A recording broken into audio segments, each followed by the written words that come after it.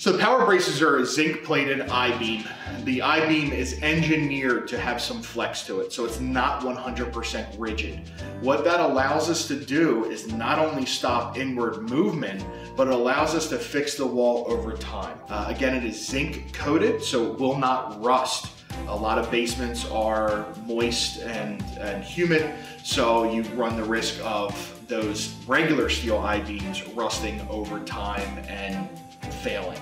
Uh, the PowerBrace, uh, because of the zinc coating, will never rust and will never fail on you.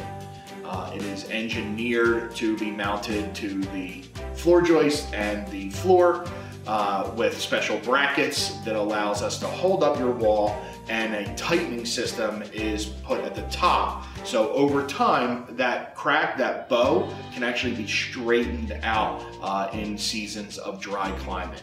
So the installation steps, uh, we of course will measure your basement, uh, look at the deflection of the crack that you have, take measurements, use a load calculator. Uh, there is a you know degree of engineering that's involved with this. Make sure that we have the right count of PowerBraces and the right location of where they're gonna be and we'll make sure that there are no obstructions in the way so they can be mounted directly to the wall and it, we will use a tightening bracket up at the top depending on which way your floor joists uh, run will determine which tightening bracket you need and that allows us to affix it to your wall.